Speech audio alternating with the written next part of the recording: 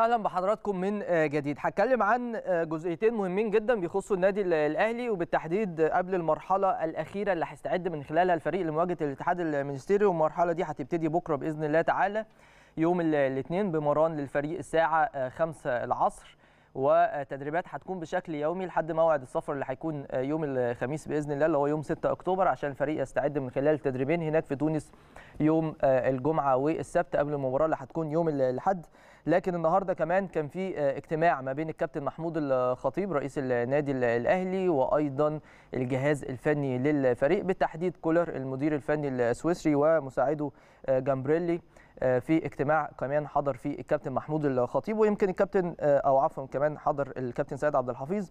ويمكن الكابتن محمود الخطيب كان حريص جدا جدا على الاجتماع ده والاطلاع على كل الجديد اللي بيتعلق بالفريق واحتياجات الفرقة خلال المرحلة المقبلة خصوصا إن الكابتن محمود الخطيب إحنا يمكن اتكلمنا في الجزئية دي قبل كده.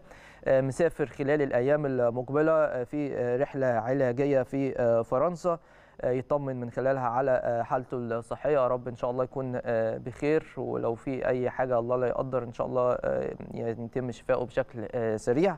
فالكابتن محمود الخطيب قبل سفره حرص جدا على الاجتماع ده وإنه يعرف إيه النواقص أو الاحتياجات اللي ممكن يكون محتاجها الجهاز الفني وجهاز المعاون لكولر سواء على الصعيد الفني أو حتى على مختلف الأصعدة الإدارية. الصور قدام حضراتكم أهي طبعا كولر جامبريلي الكابتن سيد عبد الحفيظ وأيضا المترجم موجود مع كولر.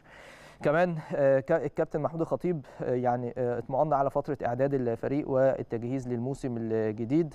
وكان بيحاول بشكل أو بآخر توفير كل الاحتياجات الفنية والإدارية والطبية قبل خوض هذه المباراة الأولى في ذهاب دور 32 من بطولة دوري أبطال أفريقيا يوم 9 أكتوبر الجاري والإطمئنان كمان والتطرق لآلية العمل خلال المرحلة الحالية وأكيد أكد على دعمه ومساندته للجهاز الفني واللاعبين. إن شاء الله بإذن الله الأمور تسير بالشكل اللي بيتمناه كل جماهير النادي الأهلي دايما البداية بتكون مهمة الانطلاقة في أي بطولة وبالتحديد لما تكون انطلاقة موسم جديد إن شاء الله تكون مناسبة جدا للأهلي وتدي دفعة للجهاز الفني الجديد. واللعيبة الموجودة إن بإذن الله واحد أحد يكملوا الموسم بالشكل المنتظر من جماهير النادي الأهلي. فده بخصوص الاستعدادات النهائية للفرقة اللي هتبتدي بكرة بإذن الله وإن شاء الله الأمور تبقى جيدة للغاية. وهنتابع مع حضراتكم لحظة بلحظة كل جديد وكواليس تتعلق بالفريق.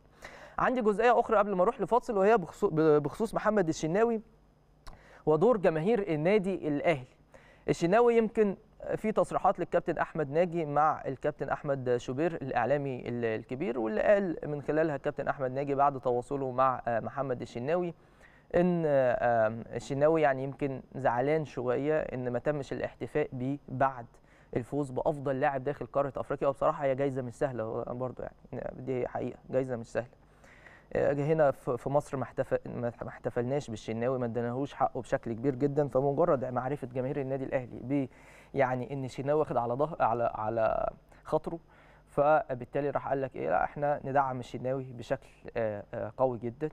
عملوا هاشتاج أكتر من هاشتاج بصراحة كلهم تصدروا تويتر امبارح في مصر ودعموا الشناوي ادوا حقه بشكل كبير جدا وهو يستحق في الحقيقة لأنه قائد كبير ولاعب مميز ولاعب أو حارس كمان كون إنك تبقى حارس وتاخد أفضل لاعب داخل القارة فدي حاجة مش سهلة خالص. عندنا قبل كده خدها أبو تريكة خدها الكابتن محمد بركات كمان هو كابتن أبو تريكة وخدها كمان مين تاني؟ خدها الكابتن محمود الخطيب بس خدها على صعيد القارة ككل سواء داخل أو خارج مصر زي الجايزتين اللي خدهم محمد صلاح برضو قبل كده.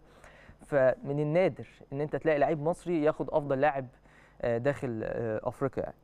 فكل التوفيق للشناوي. عندنا ثقة كبيرة جدا فيه جمهور الأهلي بيحبه. دايما دور جمهور الأهلي بيبان في المواقف اللي زي دي. ممكن يكون لعيب واخد على خاطره شوية لكن أنت اللي بتدعمه وأنت اللي بتدي له حقه وجزء من حقه في الحقيقة. حتى لو الشناوي فترة من الفترات ما كانش موفق لكن الشناوي ساهم في أمور كتيرة جدا سواء على صعيد النادي الأهلي طبعا والبطولات القارية والدولية كمان والمحلية. أو حتى على صعيد منتخبنا الوطني ومساهمته في وصول المنتخب للمراحل الأخيرة من بطولة الأمم الأفريقية وأيضا للحظات الأخيرة في التصفيات الأفريقية المؤهلة لبطولة كأس العالم وتفوق في ضربات الجزاء قدام السنغال لكن للأسف إحنا ما كناش موفقين في العناصر اللي سددت الضربات دي وكانت النتيجة إن إحنا ما نوصلش لكأس العالم. ففي كل الأحوال كل الدعم للشناوي منتظرين منه إن شاء الله بإذن الله بداية موسم قوي ودائم الدعم والمساندة من جماهير النادي الأهلي. وهو ده الفرق بين إنك تكون موجود داخل نادي كبير قوي عنده جماهيرية عظيمة زي جمهور النادي الأهلي وإنك تكون في أي نادي آخر من غير آه، جماهيرية الأمور تبقى آه، صعبة آه، شوية. فدي ميزة من المميزات المهمة اللي مش هتبقى موجودة في أي حتة يعني. خلينا نروح لفاصل. بعد الفاصل هنرجع نكمل. استنوا.